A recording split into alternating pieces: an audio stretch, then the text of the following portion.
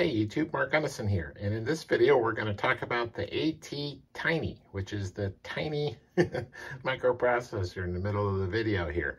And these are some of the microprocessors I've been working with. The ones on the on the uh, right are Arduinos, uh, Nano at the bottom there, and then on the left there's a Raspberry Pi, a Pico I think or something they call that, and then an ESP32, which I've done a fair amount with, and then the ESP uh, 8266 on the bottom on the left.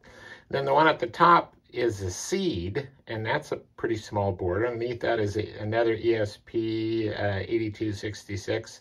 And then the little chip is the ATtiny. Um, the advantage of the ATtiny is it only costs a couple bucks on Amazon.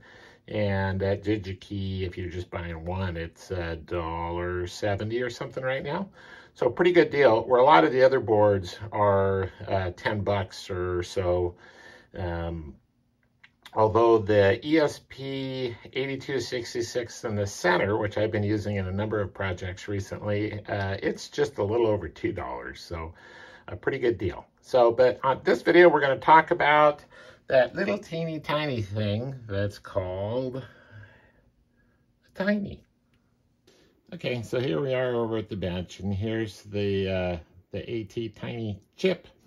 And the like here's a ESP8266. And you can see the ESP comes with a bunch of uh, peripherals added to the board so that it can work with the USB. This one doesn't have it. And so you're going to have to either uh, program it using uh, another Arduino or something, or just pick up on it one of these uh, programming boards. And uh, I got the board and two of the chips for around 20 bucks, maybe just a little bit over. I can't remember on Amazon. Oh, got it in there backwards. And um, I just started playing with these and I'm kind of having fun. One of the, the big negative is there's not very much memory in this and it only has four I.O. pins and they're just regular uh, digital I.O. pins. Um, but in order to program it, you stick it in this and you can hear the computer's recognizing it and then uh, you just uh, program it just like you would a regular old Arduino. And because I used to program uh, C++, uh, I, I, like using, uh, what is it, Visual Code? Is that what it's called? Uh, Visual Studio Code. Um, and then uh, I just use an Arduino header in order to get the program. So there's a little program that I wrote here just to kind of demonstrate. Uh, I've got defined three LEDs uh, red, yellow, and blue, gave the pin uh, numbers 4, 3, and 2, uh, built in a little delay. Now, one thing with uh, this chip is that it has an internal clock that is that is very slow compared to other uh, chips. So you can see here I've got a delay of 50. If you had a delay of 50 on any other board, it'd be flashing so quick you wouldn't be able to see it. But it turns out to be, a, as you'll see, a decent flash. So then uh, set it up just like you would with uh, regular old Arduino, and then I've just run uh, some code here where it turns the LEDs on and off uh, with a with a delay, uh, and it just runs through a switch with uh, multiple cases just so I can alter what's happening. So let's go ahead and program that into the chip. And so it's compiling, and there you can see it's uploading. Doesn't take very long, and so there it goes. So now, let's see how it works. So we'll yank it out of there.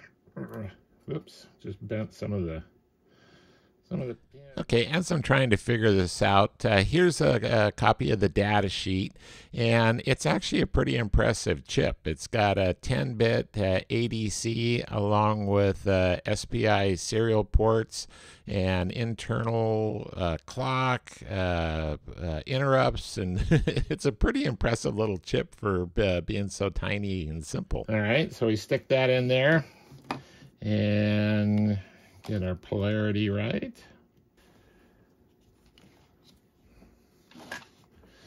All right, so get it plugged in and we'll turn that on and you can see it's flashing as it's working through the delays and then I've got it set up so as it goes through the switch statement, uh, it alters the, the lights.